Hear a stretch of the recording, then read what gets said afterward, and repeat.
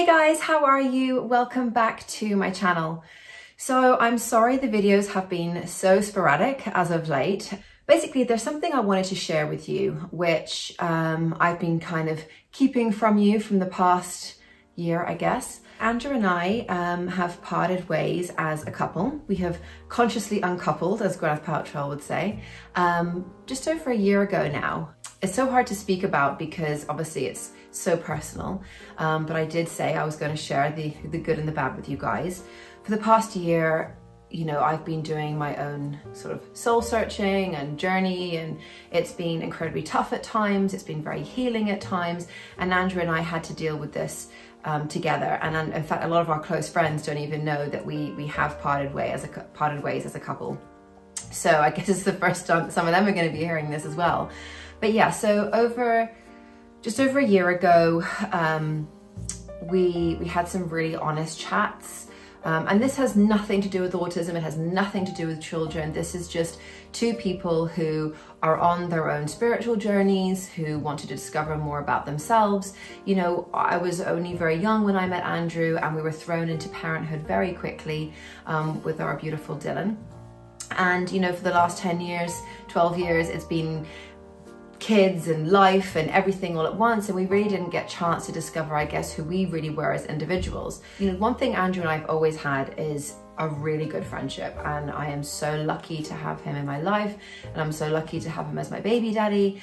And you know I think that's sometimes what makes it harder is that you know we have so much love for each other. But we have so much love for each other that we knew the right thing for each other was to part ways as a couple. So I guess it's taken us a year of mistakes, of learning, of growing, of figuring out our new normal. We have been living together during this whole process and I am really proud of the way we have conducted ourselves, if conducted is a word.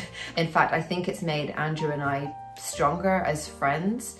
And it has been sad because you know you go through a mourning process of you know have i given everything i can? Have i tried everything i can? Is this about the kids? Is this? And then you realize that you have one life and you know if some parts of your relationship aren't working you deserve to find that happiness you deserve to you know this is this is my life. This is you know his life. This is not just about raising children because our children are going to be adults soon. And you know andrew and i have been here once before as you know from our video. We broke up after um, luca was born for about a year and a half.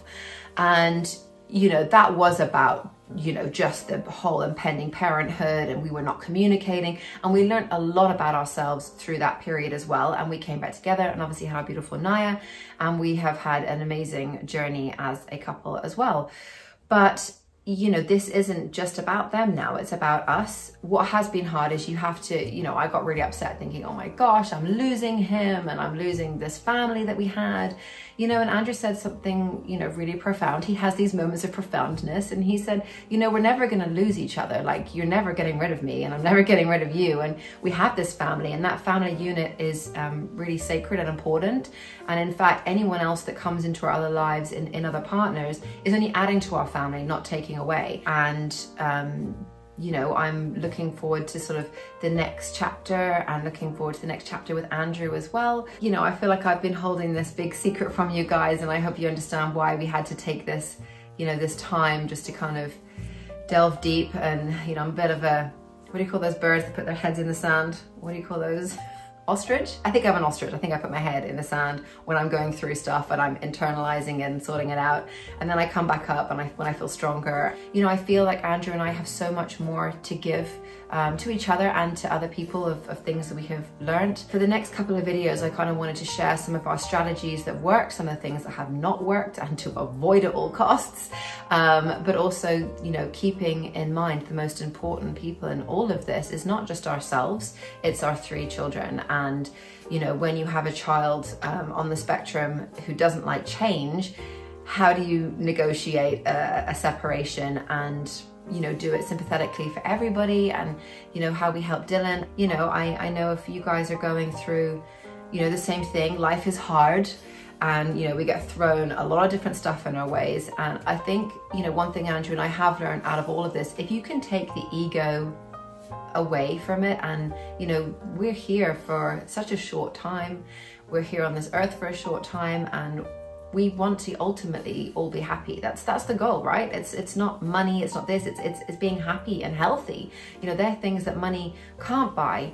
And you know it's important that we support each other. And you know i think honesty has been the most important key out of all of this. You know we've always been honest with each other um, and that helps because we still have that trust and that trust is important um, so I think, you know, if anyone else out there is going through that that same thing, I think if you can be honest and truthful to yourself and to your partner, no matter how hard it is, it's it's it's the best way to go forward. So yeah, so okay guys, I think that was it. That was it was easier than I thought it was going to be.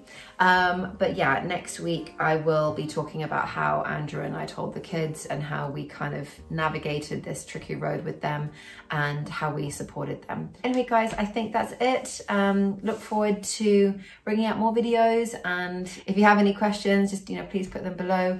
And um, yeah, I guess we'll see you next week, guys. Take care.